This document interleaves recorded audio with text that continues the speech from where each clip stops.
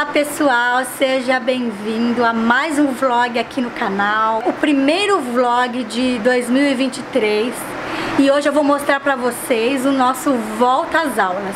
Estamos indo aí para o terceiro ano de homeschool e no primeiro dia de aula eu sempre faço um café da manhã mega especial para as crianças, para começar já no gás, na animação.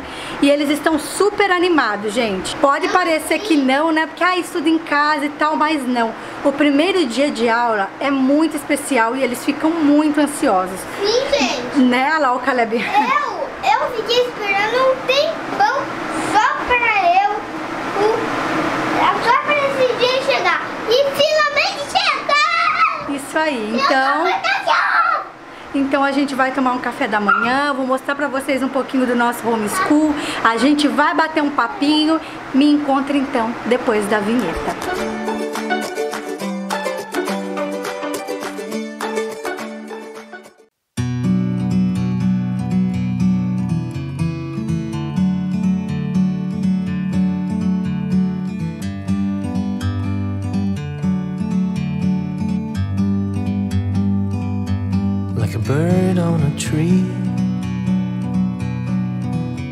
I'm just sitting here. Oh, Bom dia! I got time. É pro primeiro material. Então vocês vão colocando dentro do estojo, um tá?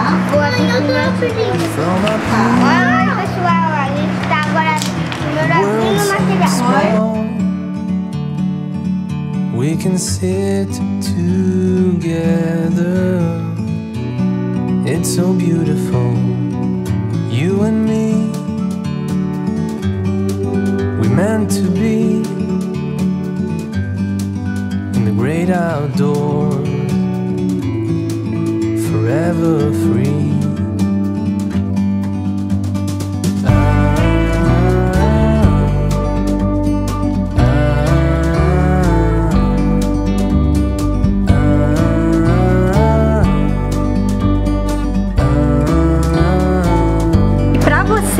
Que ainda não é inscrito no canal, eu já vou fazer o convite mais que especial.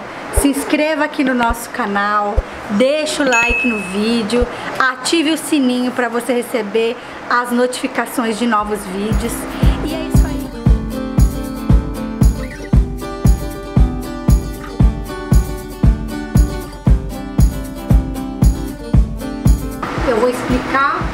Sobre algumas coisas que Jesus nos ensina. Eu vou explicar a palavra de Deus bem rapidinho. A gente vai fazer uma oração e aí depois dessa oração aí a gente vai começar a aula.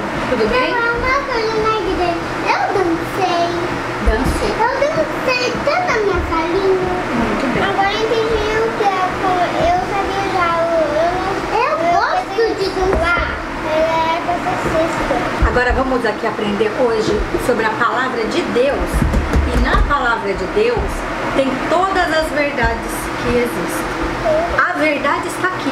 Se você aprender alguma coisa que é diferente do que Deus ensina, tá errado que você aprendeu. Porque a palavra de Deus, ela não erra. Aqui tá toda a verdade. E aqui, quando a gente segue a palavra de Deus, sabe o que acontece com a gente? Que, que, que. A gente vive uma vida muito feliz. Vocês sabiam? É. Eu vou ler aqui pra vocês. Sabia que o salmo é como se fosse música? Não. É, salmo é como se fosse poemas. A Bíblia também tem poemas. Quem falou que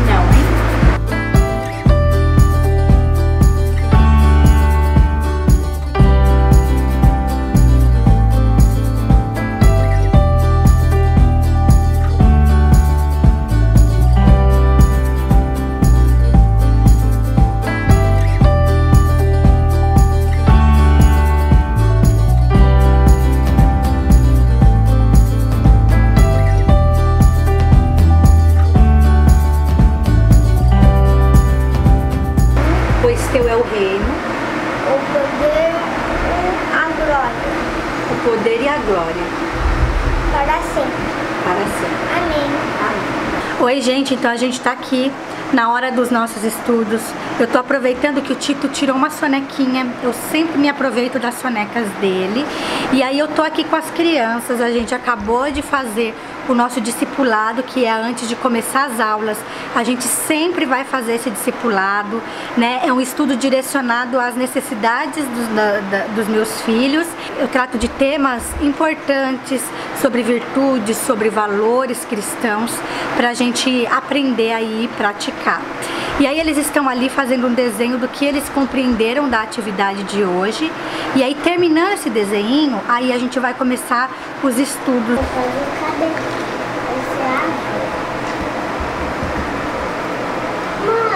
Jesus tem cabelo liso? Jesus pode ter o cabelo do jeito que você quiser pintar ele.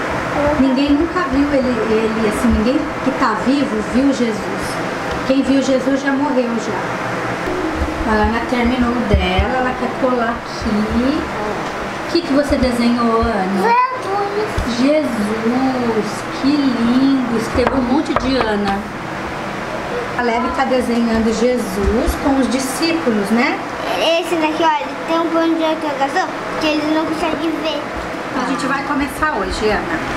Isso aqui é um poema, se, se chama Perseverança. O Caleb já conhece. Ele diz assim, ó. O pescador que puxa a rede de, com pressa não tem peixe para a feira. A criança que fecha o livro depressa não aprende a lição inteira. Por isso, criança, se quer ter ciência, a hora do estudo prolongue. Isso. Esse poema não tirado Na outra. Isso. Por isso, criança, se quer ter ciência, conhecimento, a hora do estudo prolongue. Nada se alcança sem paciência e devagar se vai ao longe. Então a gente vai aqui, ó. Vamos relembrar o que são as vogais?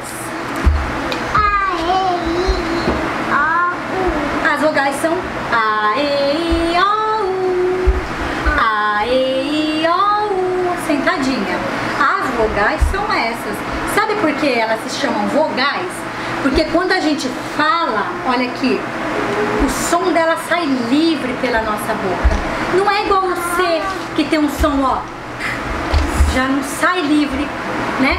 Não é igual o B que tem um som, ó, B. É, Ó, o A sai pra fora, ó. A, E, I, O. Agora você vai fazer o quê nessa tarefinha? Você vai ligar o desenho com a vogal que ele começa. Esse é de escrever, de, de, de, de colorir. O de escrever é de outra cor, tá? É azul. Você pode usar lapiseira. Esse aqui, ó. esse é o. Uma borracha muito larga e tá muito redondo. Nove. Então, ó, você vai ver com que começa e vai ligar. Sabe o que, que é essa? O que, que é? Como que é o nome dela? Arara. Muito bem. Isso. Certo. Então, geralmente, quando eu estou ensinando a Ana, eu coloco o Caleb para fazer alguma atividade que ele consegue fazer sozinho. Então a Ana tá ali agora fazendo uma atividade de alfabetização. Ela, eu preciso estar bem perto dela porque ela está sendo alfabetizada. Agora ela tá fazendo uma caligrafia, então tranquilo. E o Caleb, ele faz a matemática com independência. Então aí eu deixo o Caleb fazendo a matemática, quando ele tem dúvida, alguma questão ele me chama. Enquanto isso eu dou atenção pra Ana. A hora que a Ana termina, porque os estudos da Ana são mais curtos, aí eu dou atenção pro Caleb com português. E agora o Tito acordou, então vocês vão ver que a dinâmica aqui também, né, com o bebezinho, mas a gente segue. Então vamos lá. Mãe, você não tinha falado pro papai que era pra comprar aqueles de, de cera grosso? Você não tinha falado pro papai que era pra comprar aqueles de, grosso? Ah, mas eu acabei, estava muito caro aquele, o preço daquele dava para comprar dois desses. Aí eu preferi comprar um para cada um.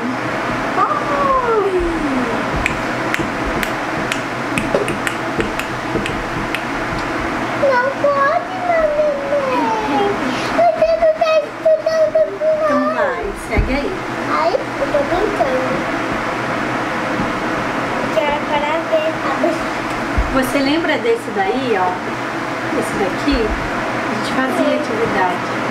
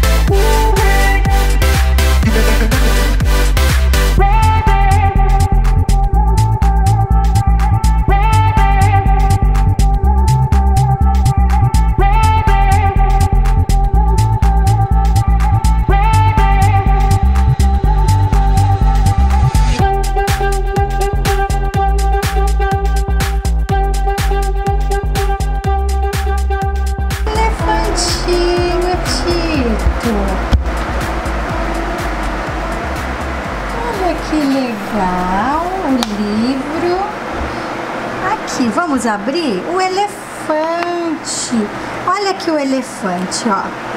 Uh, o sol nasceu pela manhã. Um novo dia que começou. Eu descobri a Camelo. palavra. Isso, K.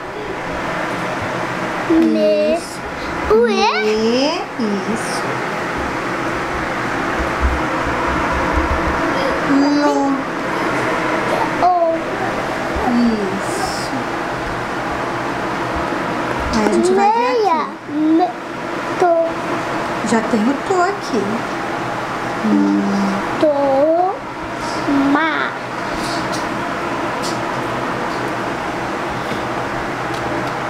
Te. Toma. Te. Ue. Isso. Muito bem. Pipa, olha aqui, gente. Iglu. Iglu. Iglu. Não, tá? Ah, iglu é aqui, ó. Ó a flechinha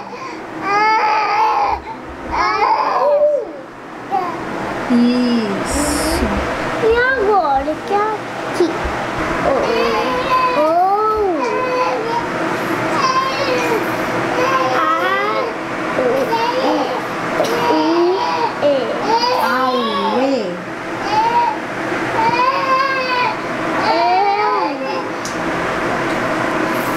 Au. Eita. Eia. Ui. E. E. U. I. I. Aí. A. Aia. Aqui, ó. Ó, ó, gente. É, observe a cena. A cena é esse desenho aqui, ó. O que você vê? O sol. O que mais? Nuvem. Passarinho. Macumba. O que mais? Que é isso? Barco. Ah, Rede. Palmeira. Peixe. Quantas pessoas você vê na sua imagem? Quantas? Uma. Representa o número um. Aqui o Caleb está estudando o plural das palavras, vendo como que fica o plural de acordo com as terminações das palavras. Aqui, olha, aqui é esse. Aqui também é esse. Esse. esse. A gente Aqui vai é colocar o esse. es quando terminar com R, com S ou com Z. Aí a gente vai colocar o ex no final.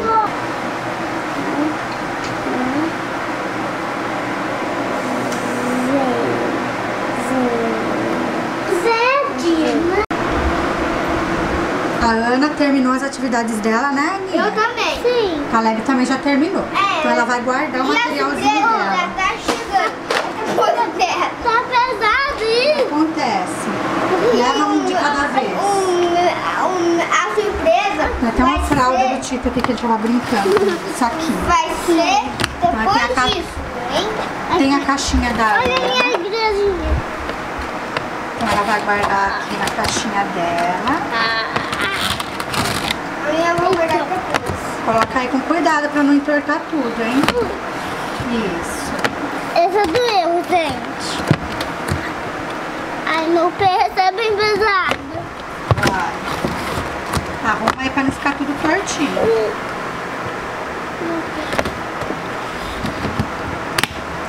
Peraí, minha igreja. Pessoal, a surpresa que eu ia falar é uma sobrecapa de caderno. Eu vou fazer aula de violão. Ela tá aqui brincando de massinha no meu lado, né? Olha lá, ela brincando de massinha, que depois eu vou. Eu vou te explicar como faz uma sobrecapa no caderno. Olha, esse daqui, pessoal, é o meu caderno. A gente vai pegar esse daqui. Primeiro a gente vai desenhar círculos. Eu vou escrever música. Vou escrever, pessoal, música. Eu vou pedir ajuda pra minha mãe fazer um círculo aqui pra mim. Eu não tô Tá. Eu não sei se Tô dando uma passada de pano no chão. Eu aproveitei que o Tico dormiu. E aí eles estão fazendo agora coisas extras, né? Porque os estudos já foram finalizados. Aí como vocês estão vendo o Caleb conversar aí, É, eu tô ele conversando. tá animado porque ele quer fazer uma sobrecapa, né? Uma. Como se fosse uma contracapa bem Eu, eu, personalizada sabe pro como eu- caderno de música dele. É porque minha mãe fez, aí eu queria fazer também. Eu fiz pro nosso caderno de organização do homeschooling. Falar nisso, depois eu vou mostrar pra vocês. Vocês viram o vídeo do planejamento? E aí eu passei a limpo no caderno. Não é fácil não, gente. A gente vai gravando e as crianças vão falando por cima. Mas vocês vão escutando, é assim. O que que foi, Ana? Tentar copiar isso. Não. Copiar o quê? A, a, a abelha?